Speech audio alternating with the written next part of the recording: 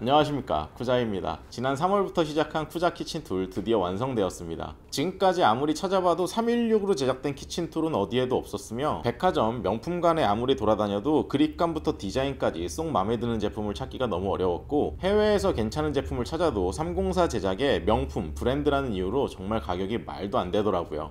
그래서 제가 직접 만들기로 마음을 먹고 국내외 많은 기업과 브랜드 제품을 생산한 믿고 맡길 수 있는 해모라는 제조사를 찾아 진행할 수 있었습니다 헌데 사실 제가 여기까지 올 수 있었던 가장 큰 이유는 많은 구독자분들이 믿고 기다려주셔서 가능했던 일이라고 생각해요. 정말 다시 한번 깊은 감사의 말씀 드리겠습니다. 그럼 우선 제품 먼저 바로 보여드리겠습니다. 이렇게 총 8종의 라인업이며 전 제품 어디 하나 빠짐없이 머리부터 발끝까지 100% 316L만 사용하여 제작 먼저 국자 이렇게 두 가지 사이즈의 그립과 마감 전체적인 디자인은 동일하며 손잡이 포함 길이는 각 28.5, 26 그립 길이 22, 20 무게는 각 170, 130g, 헤드 넓이 9cm, 7.5cm, 최대 용량 100mm, 60mm이며 두 제품 모두 그립 두께 4mm, 헤드 두께 1.5mm.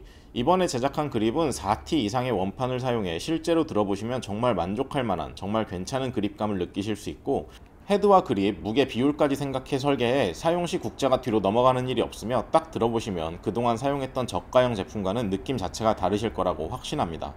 로고는 그립 뒤쪽 쿠자 316L 시리즈 각인과 헤드 쪽에 이렇게 깨알 쿠자 로고가 들어가 있어요. 다음은 뒤집개. 이 녀석도 두 가지 사이즈로 손잡이 포함 총 길이는 34, 33, 그립 길이는 20cm로 동일하며 무게는 각 140, 120g. 국자와 마찬가지로 4T로 제작된 그립은 엄청난 그립감을 자랑합니다.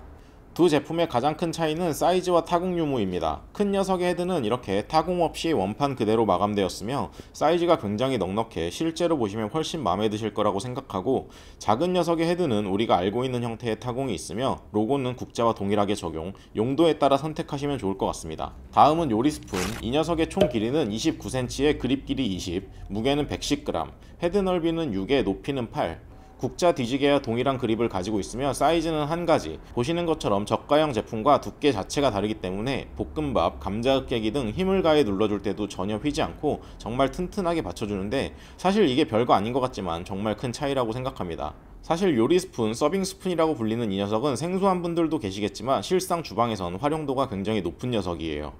이 녀석의 로고 또한 동일하게 적용되었으며 사이즈는 한 가지, 다음은 집게와 핀셋 두 가지 형태의 집게로 총 길이는 32, 그립 길이 20cm로 동일, 무게는 각 140, 180g, 헤드 넓이는 0.7, 4.5, 전체 두께는 1.5T이며 집게의 각도와 넓이는 보시는 것처럼 사용자의 스타일에 따라 이렇게 넓게, 좁게, 각도까지 조절이 가능해 취향대로 사용 가능한 점이 가장 큰 장점입니다.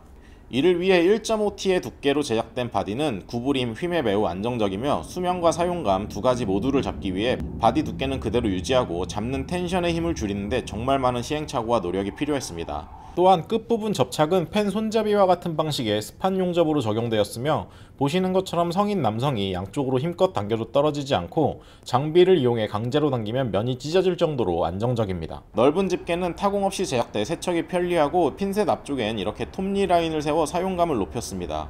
두 제품의 로고는 옆쪽 레이저 마킹이 적용되었고 추가로 이 핀셋의 가장 큰 장점은 조리하는 과정에 이렇게 바로 또는 뒤집어 어떤 방향으로 바닥에 내려놓아도 집게 끝면이 땅에 데이지 않게 설계되어 매우 편리하게 위생적으로 사용이 가능합니다. 지금까지 보여드린 7종의 모든 제품은 유광으로 마감되었고 마지막으로 계량 스푼 이 녀석만 무광 satin으로 마무리하였습니다. 당연히 316으로 제작되었으며 1.5mm 두께에 무게는 70g 20cm의 길이로 15cc, 5cc 두 가지 용량의 계량 스푼으로 로고는 핀셋과 동일하게 레이저 마킹으로 적용되었습니다. 다음은 주문 방법입니다. 이번 진행은 9월 21일 월요일 날 12시부터 수요일 날 12시까지 총 48시간 동안 주문이 가능하며 기존 쿠자팬 진행과 동일한 방법으로 인터넷 쇼핑을 한 번이라도 해보신 분들이라면 누구나 쉽게 주문이 가능하실 거예요. 만약 인터넷으로 주문이 어려우신 분들을 위해 전화 주문도 가능하지만 선착순 주문으로 시간이 늦어질 수 있으니 가급적 인터넷 주문을 이용해 주시는 게 좋을 것 같고 제가 당일 오전 11시부터 라이브로 다시 한번 안내해 드릴 예정이니 큰 걱정 없이 진행이 가능할 것 같습니다.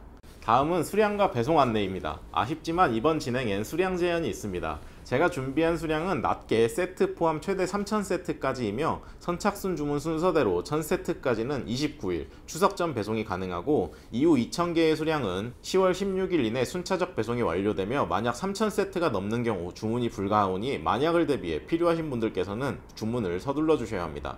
추가로 해외 배송을 원하시는 분들은 주문 시 보시는 것처럼 안내되어 있는 해모로 배송지를 입력 후 제가 공구 당일 알려드리는 카카오톡 링크 채팅 주시면 도와드릴 수 있습니다. 네, 제가 죽는 소리를 하는 게 아니라 이번 진행은 정말 어려웠습니다. 제품 개발이 이렇게 어려운 건지 몰랐어요.